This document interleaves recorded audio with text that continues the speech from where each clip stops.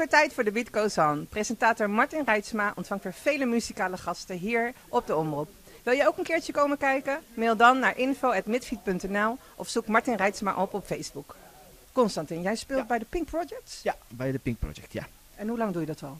Eh, ja, ongeveer eh, drie jaar. Eh, dat, is, dat is mijn derde seizoen met de band. Jij ging eigenlijk naar school om iets met robotechniek te doen. En toen zeiden ze, ga jij maar even na school eh, iets anders doen. Vertel eens even verder vanaf daar. Je moest naar een zolder? Ja, Constantin komt uit Bulgarije, dus ik kom, uit Bulgarije. Nou, dat is dan nog in de communistische tijd.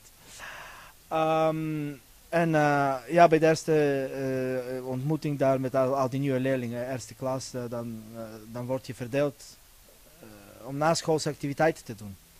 Dus op zo'n communistisch moesten wij natuurlijk wel eh, evenwichtig eh, ontwikkeld zijn en eh, gezonde geest in gezonde lichaam. Komt iemand naar mij toe, wat is je naam? Ik zei Konstantin Iliev. Zegt hij, oh ja, even op de lijst kijken. Ja, saxofoon. Ik zei, oh, maar welke type? Ik zei, nou, geen idee, wat is het saxofoon? Nooit gespeeld. Toen heb ik nog nooit gezien. Of misschien wel op televisie, misschien. en eh, ja, oud saxofoon, nou dat is deze dan. Eh, best, naar wel- huis? Best wel grappig. Dan mocht ik naar huis en de week later mo- mocht ik wel laten, laten horen wat ik kan. Ja. Nou, wat ik kon, dat was een beetje zo. Nou, ja, nou, best wel oké. best wel veel. Maar ja, het was toen nog niet muziek, nog geen muziek. En toen zei de dirigent van, nou, eh, ja, weet je, misschien, ehm, misschien geven we de, de, de saxofoon dan aan, aan, iemand, aan, aan iemand die, die al een, een, een jaartje of twee speelt op, op een klarinet. Die heeft ietsje meer ervaring. En dan neem jij klarinet over. Ik zei, oh, ik was al blij. dacht je, nou, klarinet, oké. Ja. Toen kreeg ik een klarinet, een klein koffertje. En toen dacht ik, nou, dat hoef je niet te sjouwen. En dat vond je wel goed. Ja, binnen drie weken volgens mij, of vier weken, mo- moesten wij spelen op 9 september. Dat was de nationale feestdag van communisme. Kon ik qua vingers twee mars spelen.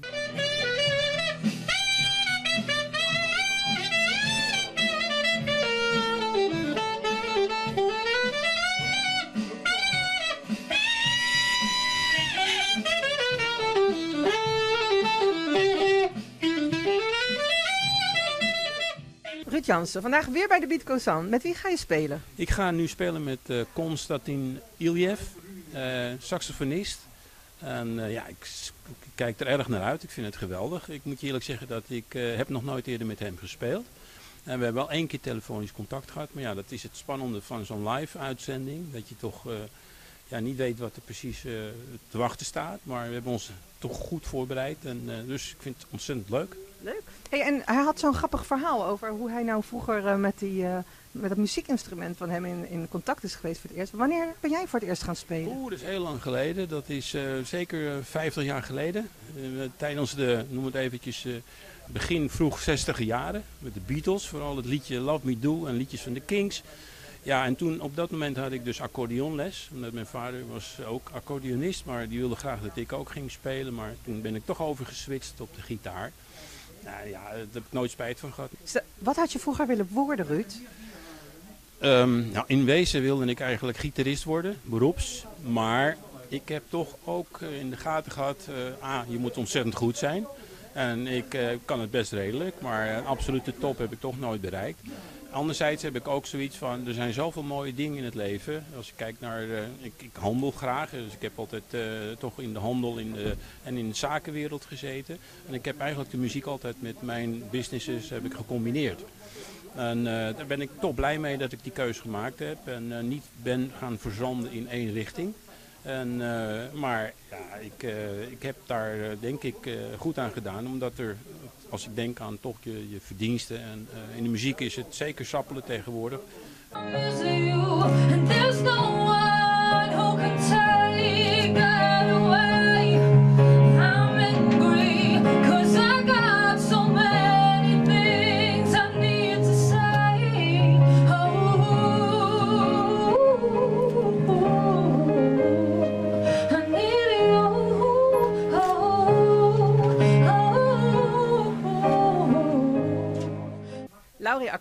Van wie heb je die mooie stem?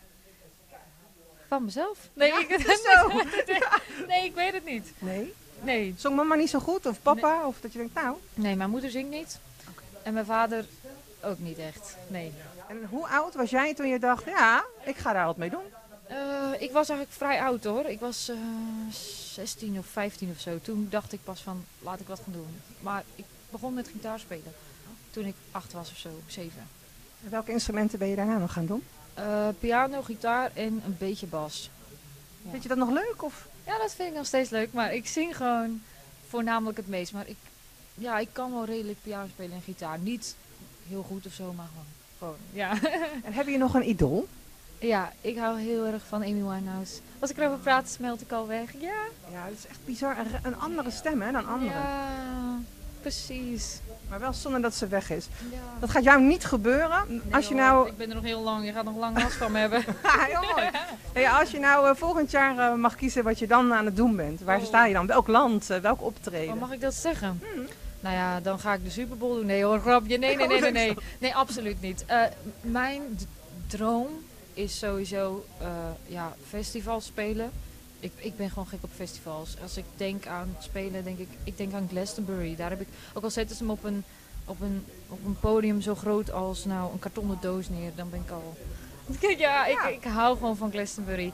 Eh, ja, daar, eigenlijk festivals waar alle artiesten waar je tegenop kijkt, hebben daar wel gespeeld. En hoe heet je ballad en wie heeft het geschreven? Ja, ik heb het geschreven. Eh, de eerste ballad die hebben we gespeeld heet I Miss You. En de tweede was Friends. Ehm, ja, dus het zijn best wel persoonlijke liedjes, maar wel... Ja, ik vind ze wel heel fijn om te spelen. It's the one that you can't touch. Harder and now the situation well, cause I want you all so much. Tonight.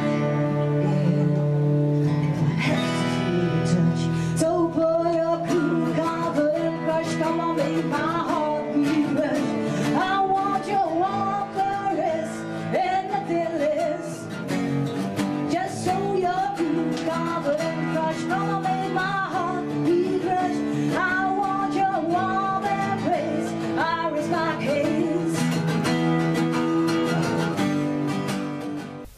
Silver Cherry, Kirsten en Silvino. Wat kan zij nou zo goed? Nou, weet je wat het is? Iemand, een bassist bracht ons samen. Hij zei tegen mij, ik wil een rockproject beginnen. En ik heb een zangeres. Ik denk, nou, het zal goed zijn. Ik kom binnen, ik, zij komt binnen, ik zie haar. Ik denk, oké, leuke vrouw. En toen ging ze zingen. Ik dacht, oké. Kan ze ook nog zingen gewoon? Ja, maar ik viel op haar stem. Ja, ja. Is het leuk om met hem te spelen? Heel leuk, heel leuk, ja. Ehm, sowieso, eh, ik, ik hou van zijn gitaarspel. Eh, Ik ben van eh, oorsprong eigenlijk een beetje Led Zeppelin fan. Een beetje de melodieuze muziek uit die tijd. En hij brengt dat heel mooi, ja. En waar treden jullie zo al op? Nou, we hebben van de zomer op het festival in, zomerfestival in eh Mariehoeven opgetreden. We hebben opgetreden in Rijswijk in een theatertje. In een cafeetje in Den Haag hebben we opgetreden. Eh, we zijn al een aantal keer voor radio's eh, gevraagd. Eh, bij Centraal, bij ZFM in Zandvoort. Afgelopen week bij Woerden. Nou, en nou zijn we bij Martin. Wat zijn de plannen met de band? Uh, nou, Silvercherry uh, wil sowieso verder als duo. Maar we zijn ook bezig uh, een band te formeren. We hebben al een hele leuke gitarist erbij. We hebben een bassist. En we hebben nog geen drummer. Dus bij deze, uh, je kan reageren. We hebben een eigen website inmiddels, uh, silvercherry.nl. Daar staan uh, contactgegevens op. Uh, ben je een leuke drummer? Kan je strak spelen? Sta je positief in het leven? Nou, meld je aan.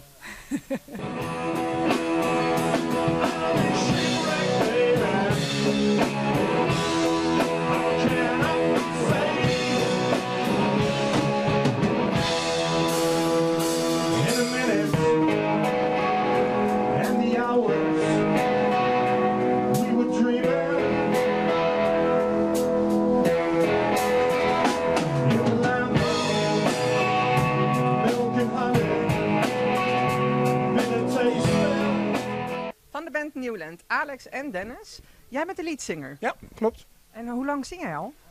Nou, vanaf dat ik me kan herinneren eigenlijk. Ja, ja al heel lang. Kan je ook instrumenten bespelen? Ja, ik ben uh, eigenlijk Newland, zal het even voorstellen, is eigenlijk een solo project begonnen. Een aantal jaar geleden heb ik uh, in mijn eentje wat uh, albums volgespeeld. Alle instrumenten en zang. Maar dat is wel heel eenzaam. Dus ja, goed, op, in, in, de zoektocht op de sociale media heb ik een hele band bij elkaar gevonden. En Dat is geweldig. Waaronder jij. En jij bent leadgitarist. Wat betekent dat? Nou, eh, eh, ik speel het hardste gitaar van de beide gitaristen.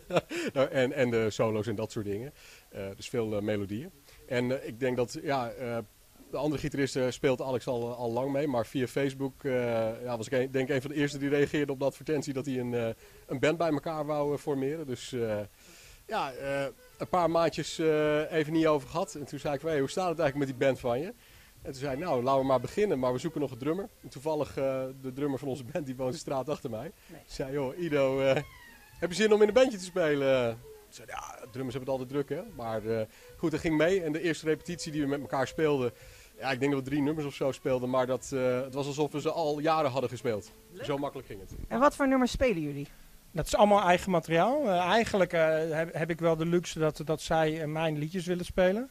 Hè, want er, het is- er liggen al drie albums, dus het is eigenlijk een beetje zonde om dan nog weer nieuw materiaal te maken. Dus daar zijn we mee begonnen. Eh, en ik moet zeggen, vanaf de eerste oefenavond dat we met elkaar spelen, is echt geweldig. Dus een hele goede muzikanten. Dus eh, dat is superleuk. Superleuk. Waar treden jullie op? Nou, we, we, we spelen meest in het noorden van het land, want daar komen we vandaan uit eh, Leeuwarden, Harlingen, Groningen en Meppel. Eh, dus eh, we staan eh, de 28e in Leeuwarden te spelen in Theater de Bres. Dan in maart in Groningen bij Lola 050. En Harlingen, Alex, dat weet ik even niet meer. eh. nou, la- maar zo hebben we wat. eh, op onze site staan al die data. Ik ben er heel slecht in in het onthouden van. En, en wat is de site? Eh www.nieuwlandmusic.net Achter iedere sterke vent staat een sterke vrouw. Wat is jouw rol bij de Beat Goes On, Els? Eh, ja, nou ja, dat begint eigenlijk thuis al. Eh, dat ik hem eh, probeer eh, ja, een beetje rustig te houden. Hij is natuurlijk zo ontzettend enthousiast. Ja, en energie. En ook nog een beetje te genieten. Want dat vind ik dan heel belangrijk, weet je wel. Zo. Dat is het Dat hij geniet. Geniet, geniet, geniet. En wat zijn de grote kwaliteiten van Martin? Want, want dat zijn er nogal wat, hè? Ja, er zijn er inderdaad nogal wat. Ja, nou, weet je, het, het eerste woord wat, mij, eh, wat bij mij opkomt is netwerken. Dat is zo'n grote kwaliteit van hem. Ja. Voel je al een beetje ongemakkelijk, Martin? Ja, zie je me heen en weer onrustig schuifelen, inderdaad. Heel ongemakkelijk. Hè? Ik interview liever anderen. Wie is er te gast vandaag? Eh, vandaag hebben we hele sterke gasten weer. We hadden Laurie Akkerman met eh, Frank Keizer. Nou, twee hele gerenommeerde artiesten. Daarnaast hadden we natuurlijk de band Newland, helemaal uit het eh, noorden en oosten van het land. Ze zijn daar heel erg populair. We hebben Constantin Iljev gehad met eh, Ruud Jansen. Heerlijk optreden. We hadden Marcel Bizarro, hij is een boek aan het schrijven over verzamel-LP's. En daarnaast heeft hij een hele leuke website, My Favorite Song. Daarnaast eh, Silver Sherry, een nieuw duo wat heerlijke folkmuziek, rockmuziek maakt. En we hebben natuurlijk dadelijk ook nog Mars en Jenny, die dus een eh, aantal nieuwe songs gaan zingen. Dus eh, ja, het is weer een eh, heerlijke uitzending vandaag.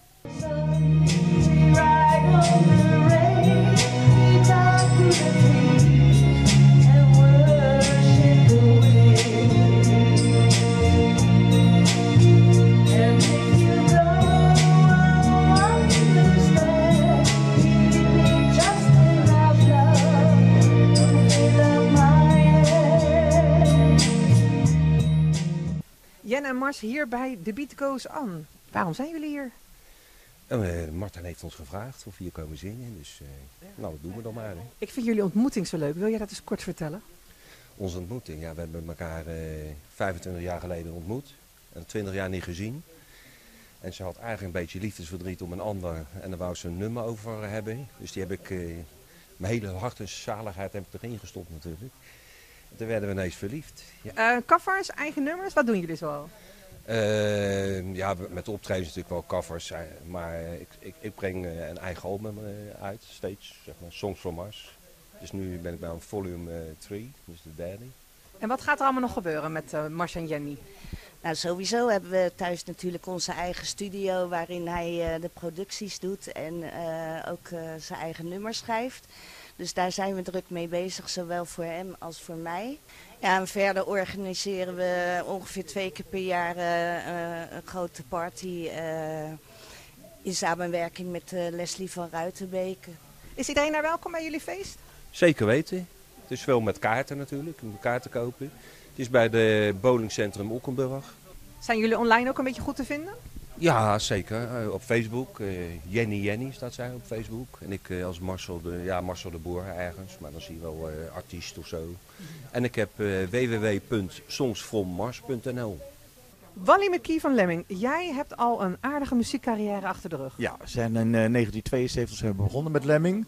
Dat heeft tien jaar geduurd, tot eh, 82. We hebben veel hits gemaakt, heel veel tours gedaan in Polen, België en Nederland. Maar ook in Londen eh, met een aantal eh, geweldige bands zoals de Rubettes en Smokey en eh ja, super tijd. En toen he- zijn we 2002 de band weer opgericht. En nou, nu is het 18 jaar verder, de band bestaat nog steeds. En zitten er nog steeds ook leden van vroeger bij? Ja, ja, ja, Tony Glaudi en eh, Alex Broekhart. En ene Wally. Ja, en dat ben ik nog steeds. ik heb het opgericht. Je hebt iets in je handen. Nou, dat is, eh, dit zijn de, de laatste twee albums. En dat kwam omdat eh, Martin vroeg of ik ze mee wilde nemen. Kan je veel instrumenten zelf ook bespelen? Nou, een heel klein beetje gitaar, maar ik, ben, ik arrangeer wel mee, omdat ik weet hoe het niet moet. En ik weet het ook niet altijd hoe het wel moet. Vertel eens over je nieuwe single. Ja, dat is natuurlijk een, eh, een catcher. We hebben de eh, geweldige o- sopraan-opera-zangeres Harriet Meijers gevraagd om mee te doen. Nou, dat klinkt goddelijk goed. Het staat ook geweldig op YouTube. En dan, maar goed, we hebben een wereldtijd gehad. En we, we komen er weer in. Dus het gaat geweldig. yeah.